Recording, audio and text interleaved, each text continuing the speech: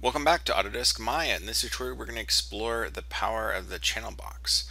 So the channel box is over here on the right here and it's open right now but if you don't see it you can click on this little tab here which opens in the far right corner these little widgets here uh, or if it's collapsed you can simply click on the word channel box and it will open it up. It also has the layer editor with it which is all this stuff down below. We're going to tackle this in another tutorial, but I just want to um, explore some of the options of the channel box up here. So what we're going to do immediately is grab this little widget here and you can drag it downwards to kind of remove it, you know, basically hide it. It's still there. You can see as I drag it back up. I'm just going to hide that temporarily.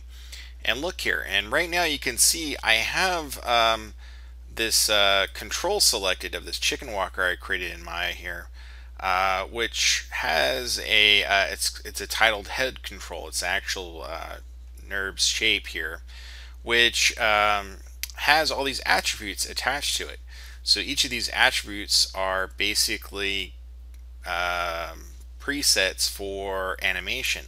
So I actually rigged this uh, model. So for example, uh, I can adjust the flaps. I can click on the word flap here and then middle click and mouse and drag one way or the other and you can see the flap here is closing and opening just by middle click dragging. Or I can do a gun rotation which rotates the main gun there by middle click and dragging um, I have a gun slider. So you can see I have lots of different attributes set up here in the channel box.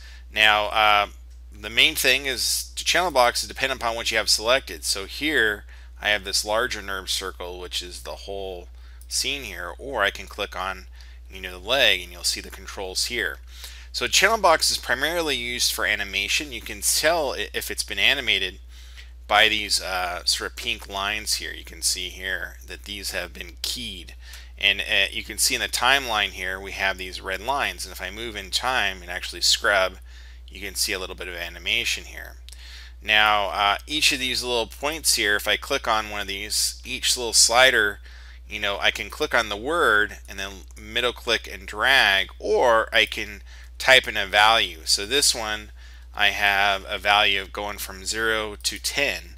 And you can set up different values for these, these attributes here for animation.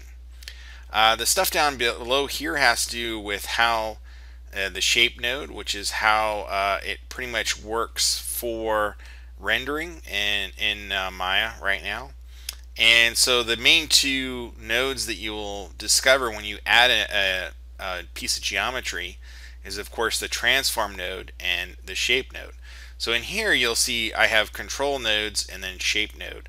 And that's a little bit different because I already have these um, NURBS curve set up for animation. So I'm going to open up a new scene uh, just to demonstrate this. It'll be easier. So uh, just pause for a second here. Alright, I'm back in Maya here and I just uh, opened up a new scene. So I'm just going to add a simple form here, this cube here, just to demonstrate some more about the channel box here. Uh, that chicken walker was a little bit, quite a bit of geometry for this machine that I'm on now. So this uh, is just working a little bit better and it'll be easier to kind of demonstrate. Again, channel box on the right here. I have here the transform, which is the p-cube one. These are all the transform attributes. And then the p-cube shape one, this has to do with the shape itself and how this is created. Now, currently these are pretty much how uh, Arnold shader basically renders. And then if you go down further into the input, the polycube input, this is actually the creation node of how this form is created. And currently, all these are set to 1, these values here, here. But you can click on any of these and you can middle click and drag and adjust. So I could, you know, adjust it to 3.7 or I can type in a value like 2, for example, and then hit return. Same with the height. I can, you know, middle click and drag interactively or again, I can type in a value like 3. Um, so all these you can pretty much work that way very easily uh, just by you know middle click and drag so if I want to add subdivisions again I select the word and then middle mouse down in the scene one way or the other to add divisions so I can add three divisions this way I can add you know um, eight divisions that way, and then for the depth, maybe, I don't know, uh, one or two, maybe one division. So now we have a start of maybe something that could be a building, for example. So that's what the creation is about. It has to do with the geometry. Each primitive form uh, has its own geometry. Now I'm in my custom shelf here. I have some primitives. But if you don't have any custom shelf set up, you go to the create menu up here at the top, go down to polygon primitives, and then here they all are. And each one has its own unique uh, creation. Now I have interactive creation turned off. Otherwise, you would do an interactive creation where you, let me turn it on for a sec here. This is how it would work um, if I have it turned on. For example, the torus, you kind of drag it into the scene and you drag each direction to kind of create a, uh, you know, the form itself. And then when you release, it's finally created. I don't particularly like that, so I'm going to go to polygon primitives and turn interactive creation off because I like to adjust it through the inputs. It's just a little bit easier. So uh, we'll do that um, uh, torus again. Click on it. And then again, scroll down to the main input here, which is the creation input. And again, each of these we can middle click and drag. So I can adjust the radius. There's a twist value here, which uh, is very interesting. The subdivision axis, so I can make it into a triangle, in fact, if I wanted to. Um, or I could add a lot of subdivisions and make it really smooth. Same this way, I can you can see here how you can make something very mechanical looking and very different than normally would be in a regular piece of geometry. You know, this would be very interesting form to start with for something mechanical, like a bolt or some sort of mechanical thing.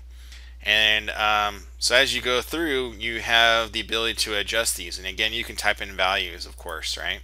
So if I scroll up to the transform uh, node, these here, the main one here at the bottom is the on, and this is a um, basically on or off kind of thing. It's like a, it's basically like a, a zero to one ratio. So I can type the word off and it disappears, or I can, you know, click in here again and type the word on and it appears. But you can also type in a zero value for off or a one value for on. So to uh, you can also do this through uh, clicking in the outliner on the object and then just make sure you hit shift A, uh, sorry control H to hide and then make sure the object is selected and you can see here it's turned off. And then if I hit shift H it'll bring it back. You have to make sure it's selected though. If I click out it's not gonna uh, bring it back essentially. You have to make sure it is selected the object. So uh, what do these transforms do? Each of these you can middle click and drag and you can see I'm literally transforming in the X axis. So let me type in a zero to bring it back. In the Y I can middle click and drag and basically move it up or down the Y. Now for some reason it doesn't want to move. I don't know why it was doing that but there it is. See I just moved by dragging the arrow up and down. Or again I can type in a zero value. Uh, same with the Z. You know I can middle click and drag. Each of these values you can do that if you want to rotate you can middle click and drag in the X, the Y, or the Z. Scale you can also do, um, but realize scale is very destructive. It's very much distorting. By default, scale is set to 1. So notice I can click on one of these and type in a 1 value, or I can simply uh, highlight all those those three and just type in a 1 and then hit enter and they'll all be set back. So all these transforms, I can zero them out basically by highlighting them all, clicking and dragging downwards, and then just typing a zero, and boom, we're back to the center of the stage here again. Now there's lots of other options in here.